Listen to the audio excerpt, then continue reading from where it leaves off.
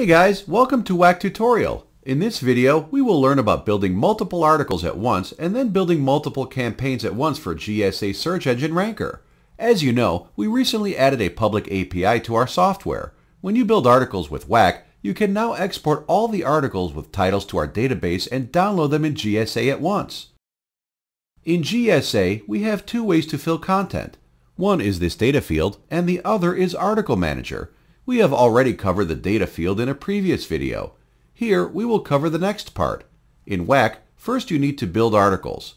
But first, let's change the number of articles we build. We go to Settings and then Auto Build tab. Enter 10 here and click Save. Now I already have articles here. Remember, although we are building articles for GSA, we will select text articles and click Build. We wait for a while and then WAC will show you a window with all the articles. Now go to WAC API and click Generate and you will get an ID. In GSA Article Manager, click on Add and then on Use WAC and paste this ID. Remember, this ID is not same as the one you get from GSA module in WAC. I will explain in a while. Press OK and you will see all your articles here. You might see all articles look same, but they are not. You can click Preview to see the difference. Now, there are two IDs which WAC generates. One is GSA Project ID. This is generated when you build GSA Project in WAC and import it in GSA through Autofill in Tools. The other ID is Articles ID, which is generated from text articles and is imported in Article Manager in GSA. Now let's see how Multi-Campaign Builder works and how to import content into multiple GSA campaigns. This feature is only for premium members. If you want, you can upgrade your copy to use this.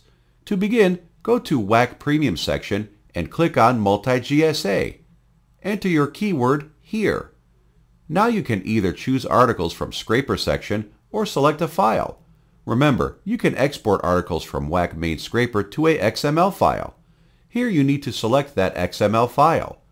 Now choose the number of campaigns and hit Build. It will start building campaigns and display the number of campaign, result, and error if any.